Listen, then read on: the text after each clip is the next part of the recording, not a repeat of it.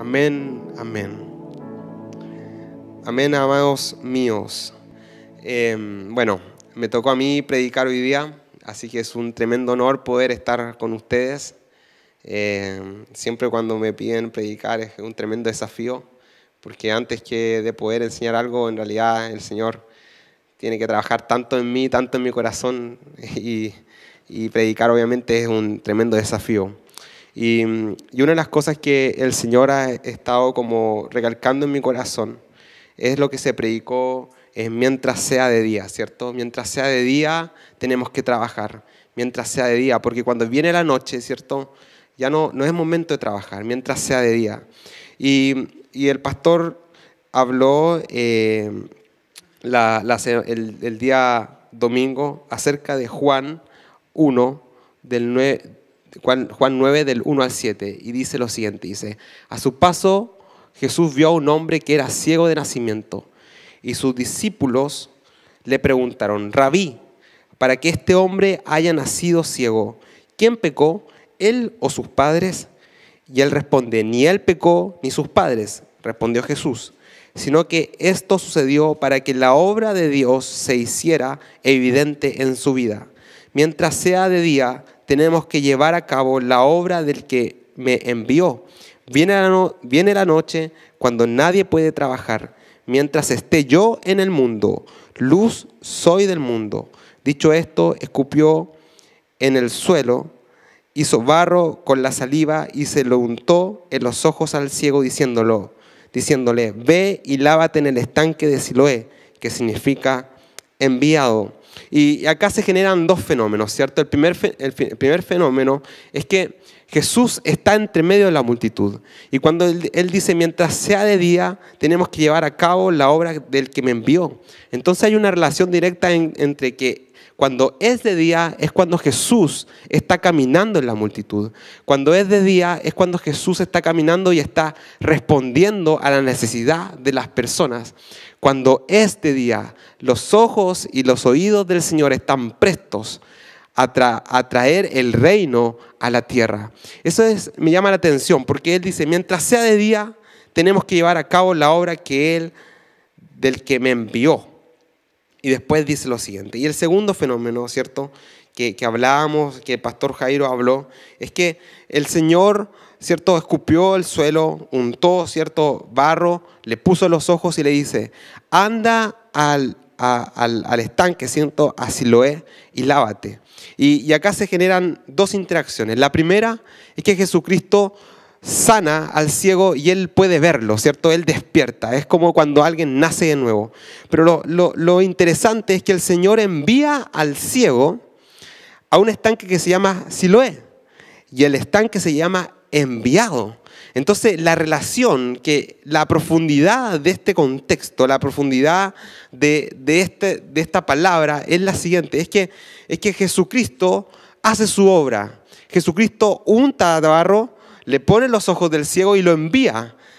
Pero la sanidad pasa solamente por Jesucristo y estamos todos de acuerdo con eso. Pero una parte de lo que Dios está haciendo tiene que ver con el enviado. Porque el enviado es el estanque. Y uno si se pone así como un poco así como, ah, ya démosle como un poco más de sentido, tiene todo el sentido del mundo porque nosotros somos los enviados. Y en nosotros habita quién? El Espíritu Santo. ¿Y el Espíritu Santo qué es? Es agua. Así sea en la, en la, iglesia, o sea, no es agua, pero la, la, Biblia habla acerca del Espíritu Santo como el agua, como ríos de agua viva que fluyen de nosotros. Entonces, cuando el Señor Jesús envía al ciego, al estanque Siloé, lo envía a nosotros. Y una parte de la sanidad pasa por los enviados, porque el agua representa el Espíritu Santo que tenemos nosotros. Entonces nosotros tenemos algo para dar, nosotros tenemos algo para ofertar que va a cambiar la vida del ciego, que va a cambiar la vida de que antes él no veía nada, pero ahora él ya puede ver. Entonces, este mientras sea de día tiene un significado profundo, porque mientras sea de día, nosotros estamos junto a Jesucristo. Mientras sea de día, Jesús camina entre la multitud y va escuchando lo que otros necesitan y va sanando, va trayendo libertad, va bendiciendo a las personas. Entonces, este día estaba profetizado. Y en Jeremías 33, del 14 al 16 dice lo siguiente, llegarán días, afirma el Señor, en que cumpliré la promesa de bendición que hice al pueblo de Israel y a la tribu de Judá. En aquellos días, mientras sea de día, cuando esté de día, en aquellos días y en aquel tiempo haré que brote de David un renuevo justo. Ahí está profetizando acerca de Jesucristo. Haré que brote de David un renuevo justo y él practicará la justicia y el derecho en el país. En aquellos días Judá estará a salvo y Jerusalén morará segura y será llamada así. El Señor es nuestra justicia. Mientras sea de días, no ha cesado la promesa. Mientras sea de día, a pesar de una pandemia que ha tocado a todos nosotros, no ha cesado la promesa, ni se ha dormido el que nos guarda. Mientras sea de día, los ojos del Señor están puestos sobre nosotros, aquellos ojos de amor que nos sanan como al ciego, que nos perdonan como al ciego y que nos envían también esos ojos de amor están sobre nosotros con una responsabilidad, porque nosotros somos los Siloé que debemos estar atentos en la obra del Señor, atentos a cada paso que el Señor está dando. Los Siloé tienen que estar atentos a cada paso que el Señor está dando, porque en cada paso que Él da, Él va enviando, va enviando ciegos, y ellos tienen que ir a tomar de la fuente, donde esa fuente de agua viva, y quienes tienen y portan esa fuente de agua viva somos nosotros los enviados. Mientras sea de día hay nacimientos, hay sanidad, hay santidad, hay responsabilidad, hay propósito y Dios se glorifica. Mientras sea de día, el reino de Dios está en medio de nosotros. Mientras sea de día, Dios se está moviendo. Mientras sea de día, es momento de trabajar, de ceñir nuestros lomos con la palabra, con la fe, con la fe del Hijo de Dios y caminar en fe trayendo libertad al cautivo. Porque nosotros tenemos algo que otros no tienen, que es el agua que sanó al ciego, que es el Espíritu Santo mientras sea de día. Y frente a eso viene una pregunta a mí. Hay tres aspectos importantes, pero ¿qué significa que sea de día?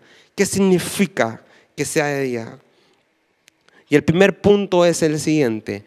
Cuando es de día, el rey de reyes se encuentra pasando en medio de entre nosotros. Cuando es de día, quiere decir que el sol está alumbrando. Cuando es de día, la oscuridad ha sido disipada.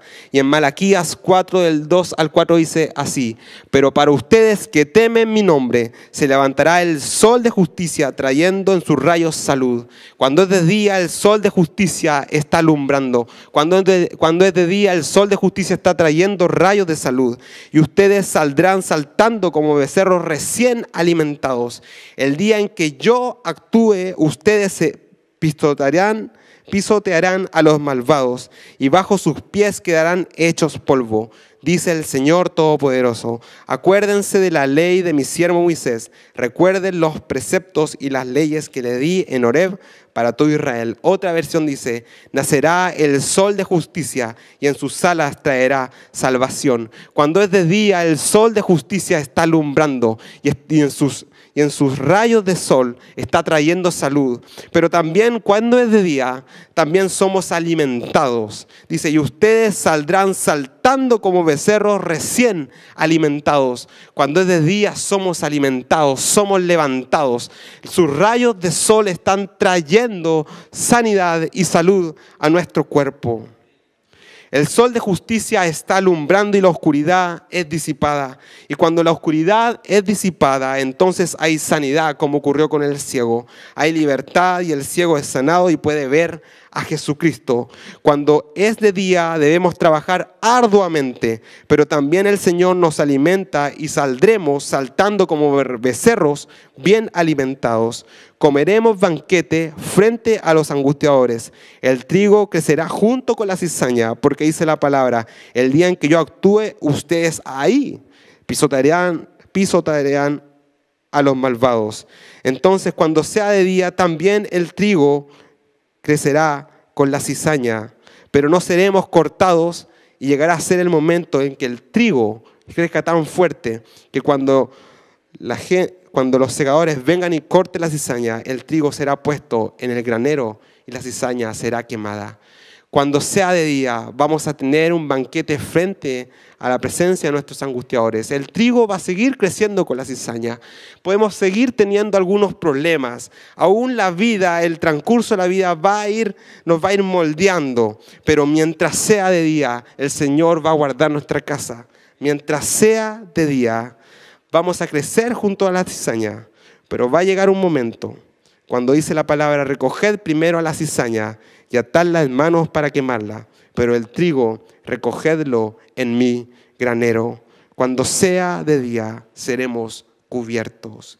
Es por eso que en Jeremías 38, 11 dice así, en aquel día, dice Jehová de los ejércitos, en aquel día yo, perdón, yo quebraré su yugo de tu cuello y romperé tus coyunturas y extranjeros no lo volverán más a poner en servidumbre sino que servirán a Jehová su Dios y a David su rey, a quien yo les levantaré.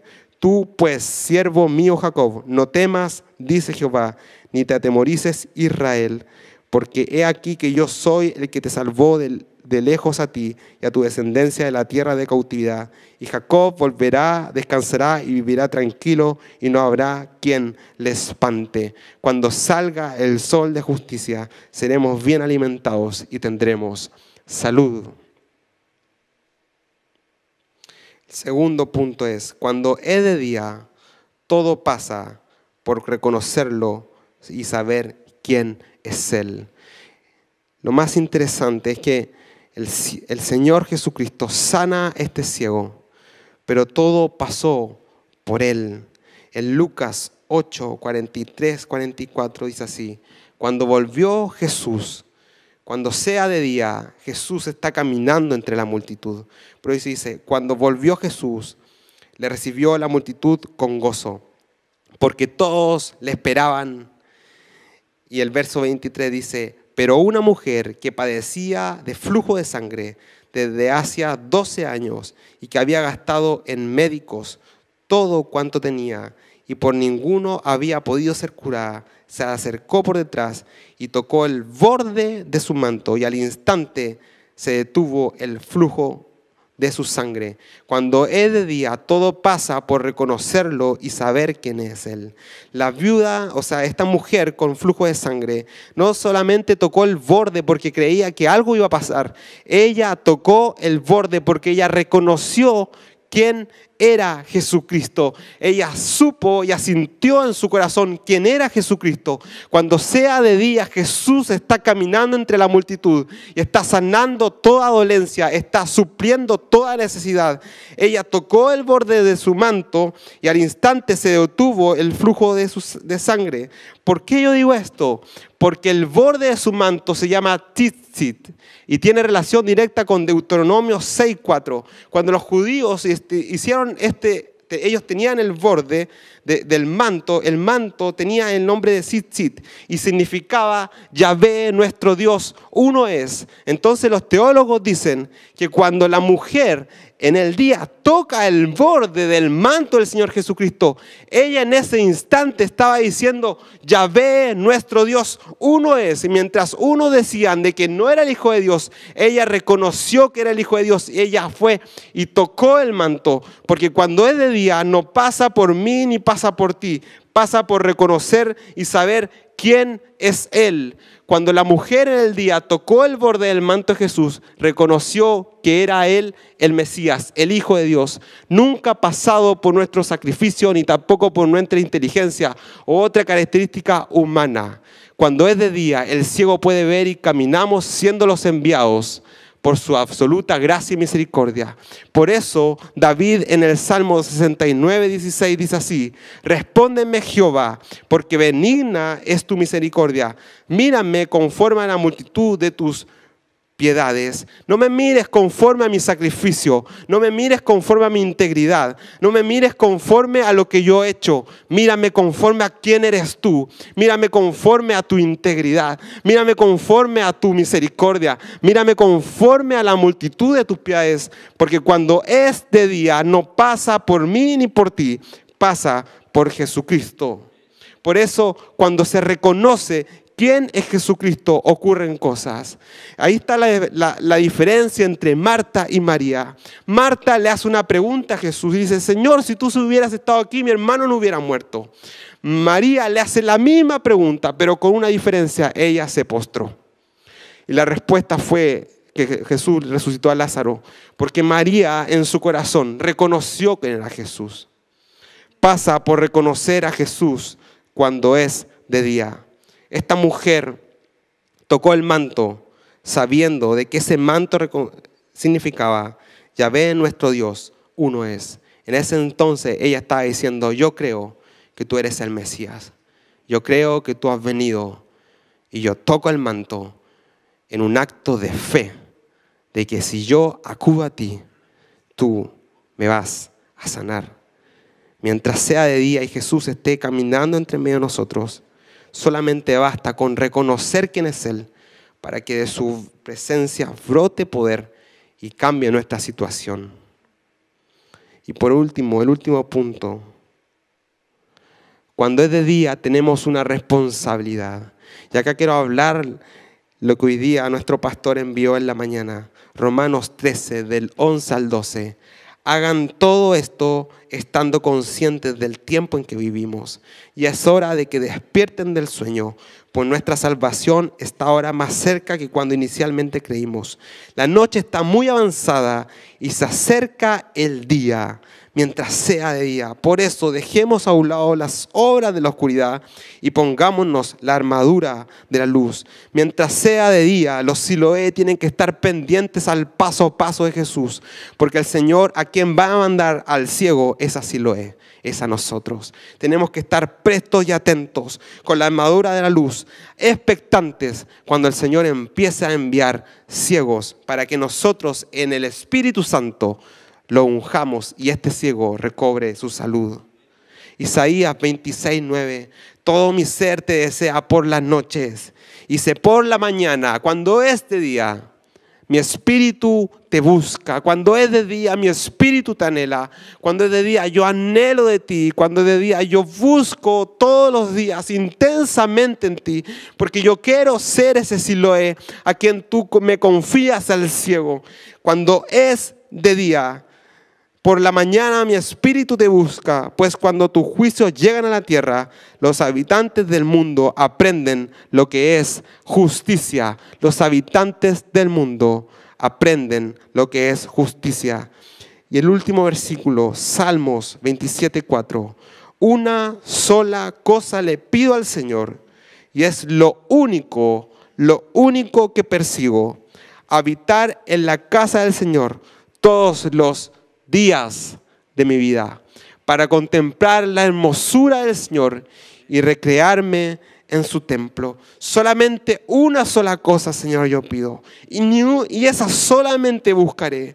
Que todos los días de mi vida pueda contemplar tu hermosura, pueda mirarte cara a cara, pueda aprender nuevos rasgos de ti, pueda estar embobado de amor por ti y recrearme en tu templo. Otra versión dice, y percibir tu dulzura, percibir quién eres, percibir realmente quién eres en mí, realmente quién soy en ti. Porque yo quiero ser un Siloé, quiero ser responsable al encargo que tú demandas de mí. Como dice en Isaías, pues cuando tus juicios llegan a la tierra, los habitantes del mundo aprenden lo que es justicia. Quiero estar expectante para hacer una moneda en tu bolsillo y poder extender el reino y hablar de justicia, hablar de paz, hablar de amor, hablar de misericordia, pero no tan solo hablarlo, sino también vivirlo, caminar en ello. Cuando sea de día, solamente una cosa quiero buscar. Es que mi espíritu te busque con desespero. Es que todos los días de mi vida esté en tu templo inquiriendo justicia. Esté contemplando tu hermosura y recreándome en tu templo. Cuando sea de día, amados míos. Cuando sea de día, el Señor se está dejando encontrar. Cuando sea de día. El Señor, sus manos están prestos a escucharnos, pero también a abrazarnos.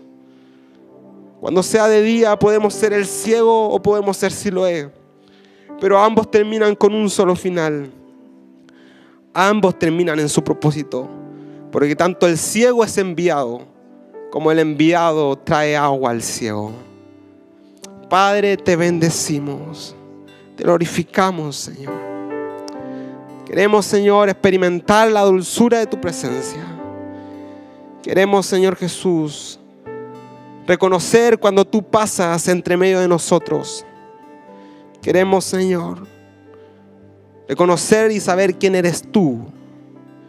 Y también, Padre, queremos responder adecuadamente a la responsabilidad que ha nacido de ti para nosotros. En su momento es el Siloé, es el agua, es el enviado que tiene que tomar al ciego, tiene que ungir al ciego con el agua. Pero también podemos ser el ciego, que en este tiempo de un año o seis meses, que no, eh, capaz que nos alejamos de ti, capaz que dejamos de, de estar intensamente buscándote, pero tenemos una oportunidad, como decía la pastora el domingo pasado la oportunidad de ser perdonados y de que Jesús nuevamente nos envíe. Padre, te bendecimos y te amamos. Y queremos estos últimos minutos poder disfrutar, como decía el rey David, de la hermosura de ti. Y queremos recrearnos en la oración, recrearnos contigo. En el nombre del Señor Jesús. Amén.